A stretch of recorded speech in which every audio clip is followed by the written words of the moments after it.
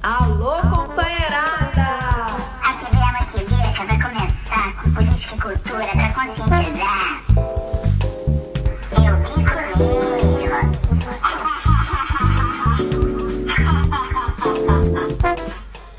A TV do coletivo Lava Desvenda as fake news que os meus irmãos robôs espalham.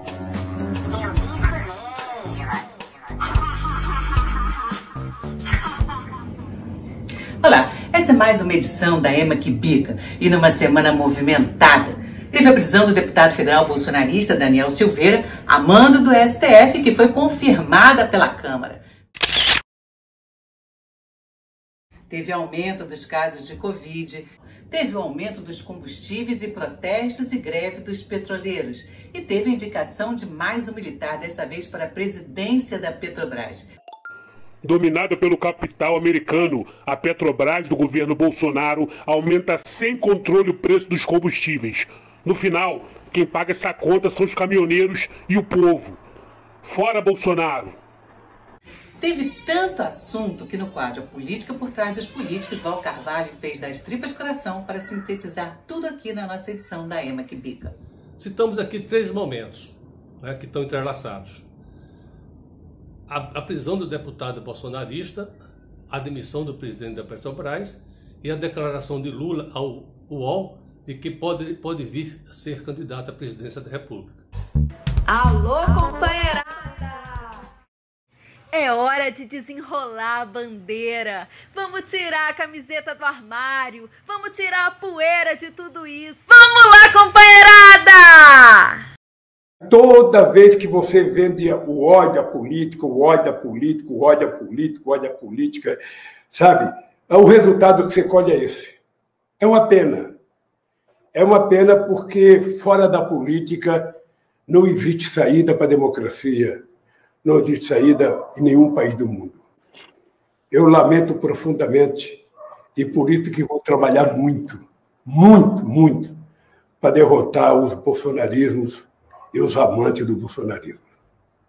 Os mesmos que defendem a meritocracia elegeram um presidente que foi tirado do exército por desmérito, que ficou 28 anos no Congresso e nunca alcançou qualquer mérito, nunca participou da mesa, nunca fez parte de qualquer comissão importante. Os que defendem a meritocracia elegeram um presidente que, em 28 anos de Congresso, aprovou apenas dois projetos. Dois projetos sem qualquer importância para o país. Um a cada 14 anos de trabalho. Que empregou a família, abusou dos funcionários fantasmas e recebia auxílio moradia, mesmo tendo apartamentos em Brasília. Meritocratas, o que vocês esperavam? No Rio de Janeiro, a violência policial contra 58 famílias que perderam suas casas no incêndio em Santa Cruz e foram obrigadas a deixar o abrigo antes de receber o aluguel social da prefeitura. Agradecer aqui já de imediato a, o mandato da companheira Benedita, do vereador Raimundo, por estar nos ajudando aqui junto do Favelação a estar contribuindo para amenizar o problema daqui do pessoal que, do incêndio aqui no Jesuíta. Meu nome é Jéssica, eu quero agradecer a favelação por estar me ajudando, por ter me ajudado com 400 reais para me poder estar alugando meu cantinho para mim e para meus filhos morar. Sou moradora, né, do incêndio, né, que teve aqui, né, em Jesuíta, nos barracos, mas meu nome ainda não saiu, né, então não pude estar, né, pegando meu aluguel social porque meu nome não saiu. Aí a favelação, muito obrigada por ter me ajudado com essa quantia, por estar alugando meu cantinho. A pergunta que não quer calar. Poderia definir essa democracia que o senhor defende? Eu bico mesmo.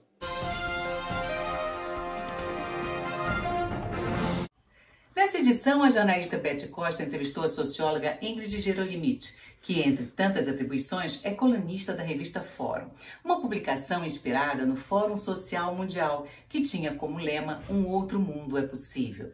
A nossa entrevistada vai tocar num assunto que volta a ser discutido principalmente pelos jovens nas redes sociais, que é a eliminação, o cancelamento, o linchamento virtual, para o bem e para o mal, e tão falado agora por conta do Big Brother. cancelamento como um movimento, enfim, que foi criado na internet para que pudesse, é, de alguma maneira, o público consumidor, enfim, as pessoas que estão é, que têm uma relação de compra, de, de, de, consumo com diversos produtos ou, enfim, com serviços de uma maneira geral, elas pudessem colocar seus pontos de vista e pudessem é, fazer pressão, né, de uma certa maneira, nessas empresas, nessas figuras, enfim, uh, figuras do entretenimento, de maneira geral, para que houvessem mudanças que são mudanças muito importantes, mudanças sociais, né? mudanças do ponto de vista de diversa, diversas pautas dos movimentos de direitos humanos, né? como a questão do racismo, da luta antirracista, da luta feminista, da luta LGBTQI+, enfim. Então, essa ideia de cancelamento como um movimento de pressão né, a essas empresas, a essas figuras, eu considero que é extremamente importante. Né? O Sleep Giants, por exemplo, é isso, né? é, é uma forma de cancelamento, é uma forma de você pressionar né, esses grandes players aí do mercado para que eles tenham uma é, é, mudem a sua cultura, mudem a forma de se relacionar, mudem a forma como eles se relacionam com o seu público. Então, eu acho que nesse sentido, o cancelamento é, ele vem como um movimento muito importante que empodera essas pessoas que a priori sozinhas não têm força para mudar a realidade, mas coletivamente elas conseguem mudar esse quadro. Agora, o que, o que tem acontecido, e essa discussão que tem sido muito falada nas redes sociais ultimamente, é de um cancelamento muito mais da nossa própria bolha, daqueles que estão ao nosso lado, daqueles que lutam ao nosso lado, é, num, de uma forma muito como quase um patrulhamento comportamental. Né? Quem é mais militante, eu sou mais, você é mais, quer dizer, é uma disputa, talvez, no campo de quem é, é quem é mais correto, quem é mais politicamente correto, quem milita mais, quem está, é, de fato, se algum, colocando mais em relação às suas causas. E eu acho que nesse sentido é que é muito delicado. Nesse sentido é que a gente começa a ter o que aquilo que a gente pode chamar de um tribunal da internet, né? E o cancelamento, como tem sido feito, ele é muito taxativo porque ele não, inclusive, ele não tem espaço para o diálogo, ele não tem espaço, não há um julgamento no sentido de ouvir o outro, no sentido de, do outro é, expor o seu ponto de vista, né? É, Cancela-se e pronto, né? Sem ouvir absolutamente nada do outro lado. Então, nesse sentido, aonde que a gente está avançando?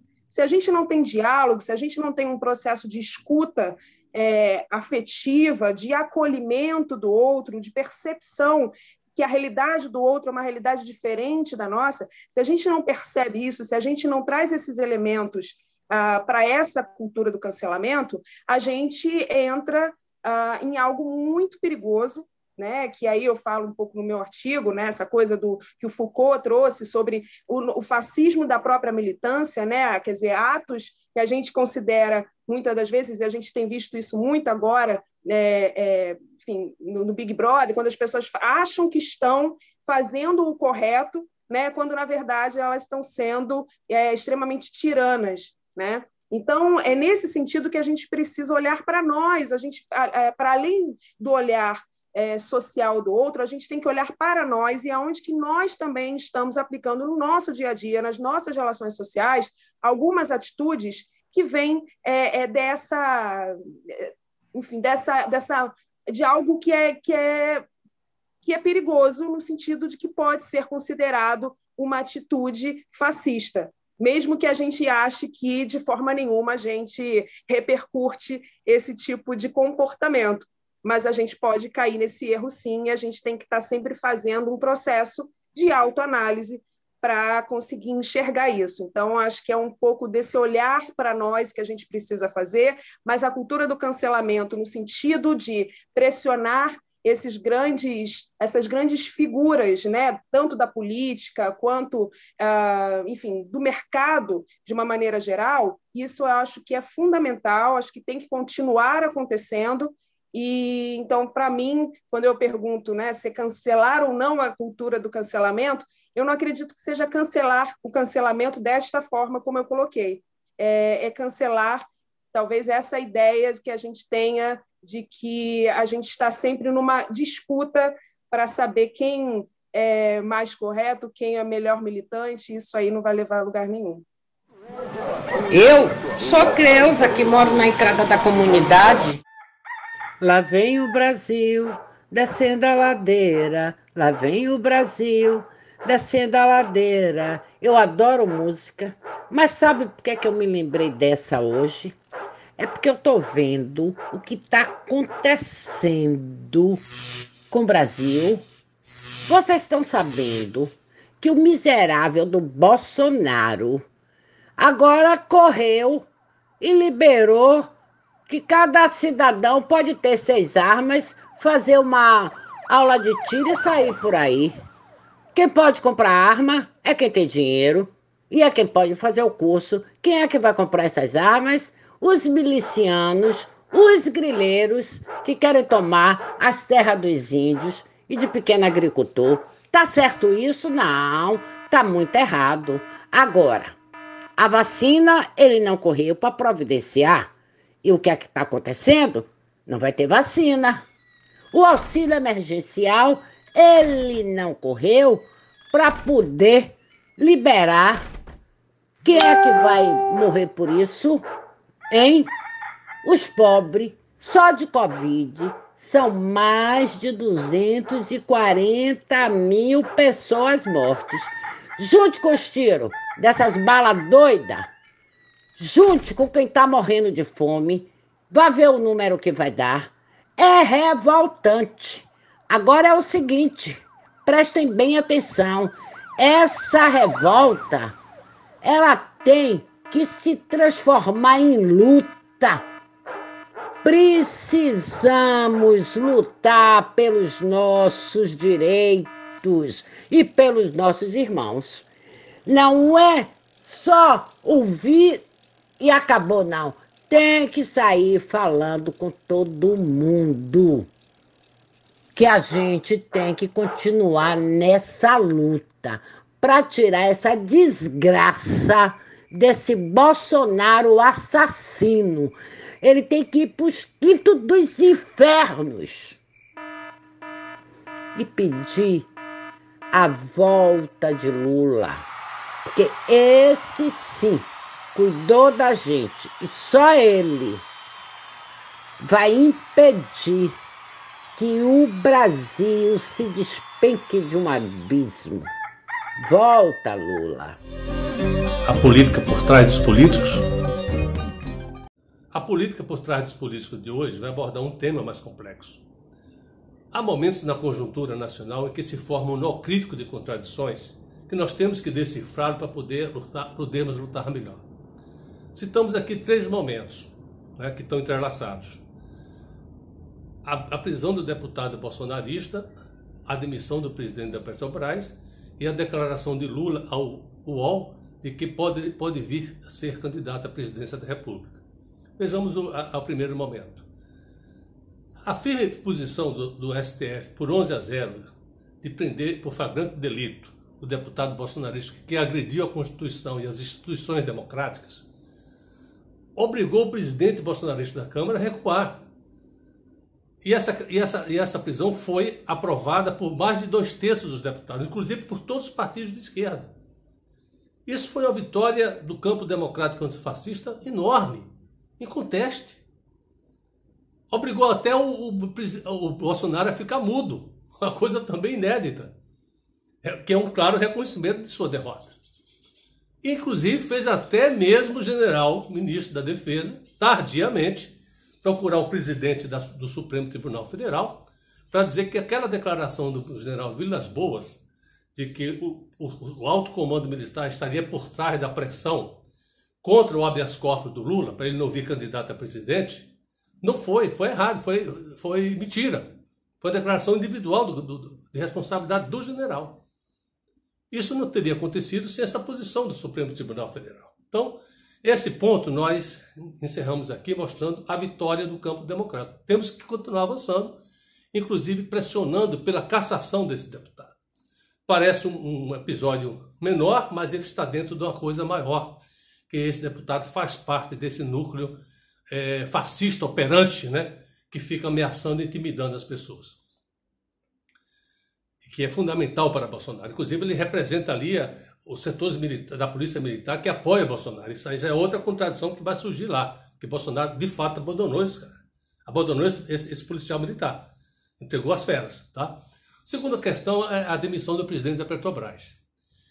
É, aqui é, é, é, necessário um esclarecimento. A Petrobras de hoje, que é contra o Brasil e contra o povo, ela, ela veio do golpe contra Dilma e se fortaleceu com essa visão antipatriótica com a eleição do Bolsonaro. Tudo isso foi feito para entregar o pré-sal para o capital americano, para as petroleiras, de modo geral, para privatizar a Petrobras, as refinarias. Isso está sendo feito assim a, a toque de caixa. A Petrobras é mais difícil privatizar totalmente, então eles estão desmembrando. E esse presidente que foi demitido aí foi indicado pelo Tucano, mas na realidade ele representa, ele representa o capital estrangeiro, que controla a Petrobras e define os preços nacionais alinhados aos preços internacionais. Neva no Texas aumenta o preço do combustível aqui, que é um absurdo. Bolsonaro, com medo da reação dos caminhoneiros, ele vai e intervém, já que ele tem a caneta de presidente. Demite esse presidente da Petrobras, indica o general, só que esse general não vai ter força para mudar a política de preços, que é internacional e é controlada hoje pelos investidores que dominam a Petrobras. Para mudar a política de preços da Petrobras, tem que mudar a política em relação à Petrobras. Torná-la de fato empresa soberana e, com isso, defender a soberania do país, coisa que não é da política de Bolsonaro, muito menos do alto comando militar, que é tão entreguista quanto o Bolsonaro. Entendeu como é a situação? Então, nós temos aí um quadro onde só vai se acentuar essas contradições. Na medida que Bolsonaro mexe com a parte dos impostos do preço, para mudar o, a, a, definição desse preço, ele está mexendo com algo sagrado. Duas coisas sagradas. Primeiro, mexe com o preço, que é definido pelo mercado segundo o dogma capitalista. E, segundo lugar, ele atinge a lei de responsabilidade fiscal, que foi usada em tese para poder é, é, é, fazer o impeachment da Dilma com as pedaladas fiscais. Se ele não compensar o imposto com outra receita, a, a redução do imposto com outra receita, ele está claramente atingindo a lei de responsabilidade fiscal. Em cima disso, o noticiário econômico já foi para cima dele, cobrando essa definição. Tá? Então, ele está comprando uma briga que provavelmente ele não tem cacife para enfrentar. E nesse general é nacionalista capaz de enfrentar isso, porque o nacionalismo desses generais entreguistas é da boca para fora, só para enganar o povo. Então, esse é, esse é um nó de contradições que interna do governo, que vai, nesse quadro de avanço do campo democrático, só vai é, permitir que a gente encontre mais brechas e mais condições para poder isolar e derrotar Bolsonaro. O terceiro elemento é a questão da, da entrevista do Lula. Né?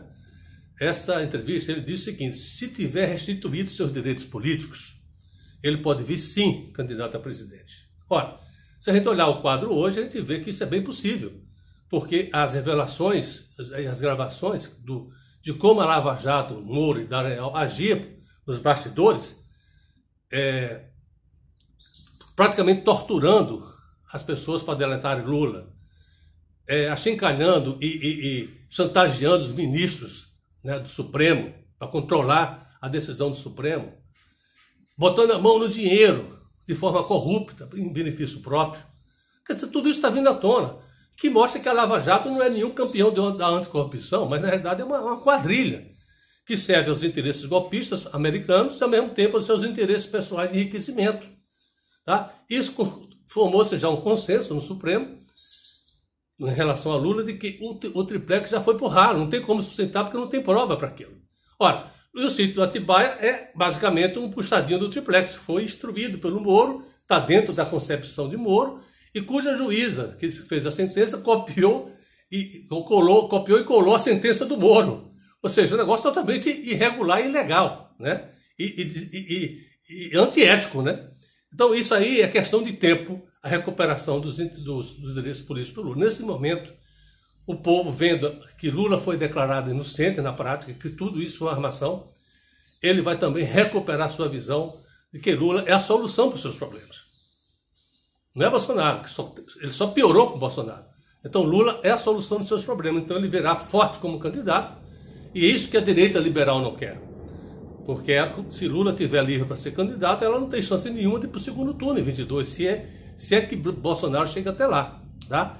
E aí nós temos uma definição em 22, Bolsonaro versus Lula, que de fato é o que define hoje a política nacional.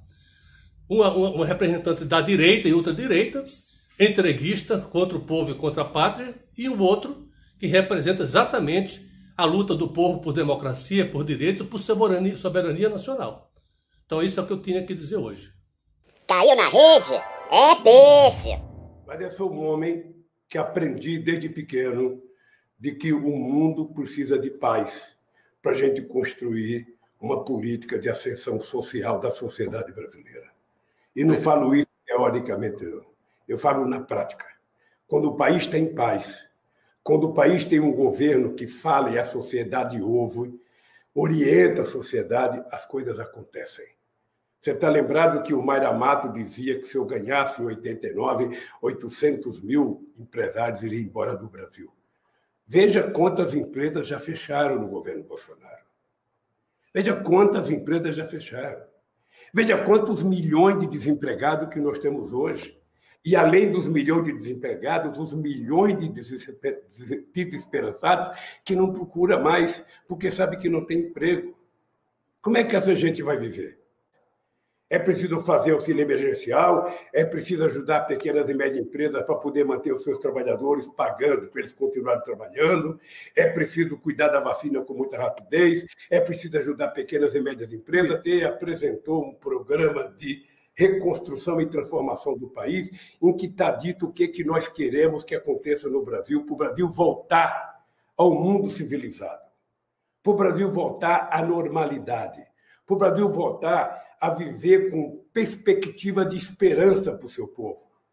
Porque o que nós estamos vivendo é uma, uma coisa muito negativa, uma coisa muito negativa, é muito ódio destilado todo dia para lá e para cá. Então, como é que nós vamos resolver isso? se a política não funciona e a economia não funciona. O capitão Morte já disse textualmente: Eu não entendo de economia.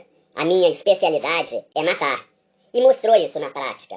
Acabou com a indústria, acabou com os empregos, acabou com os salários, acabou com o país. Ele mata de fome e mata de Covid. O povo pede vacinas e ele dá armas, que é para matar ainda mais. Eu pico mesmo. Sarau da Ema.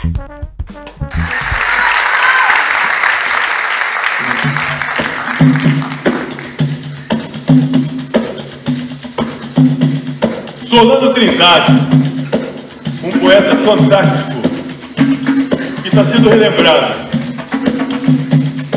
Escreveu muito sobre questões sociais e por isso não foi prestigiado como devia. Mas a história está fazendo a devida justiça sujo da Leopoldina. Correndo, correndo, correndo, correndo. Parece dizer Tem gente com fome, tem gente com fome Tem gente com fome, de comer? Trem sujo da Leopoldina.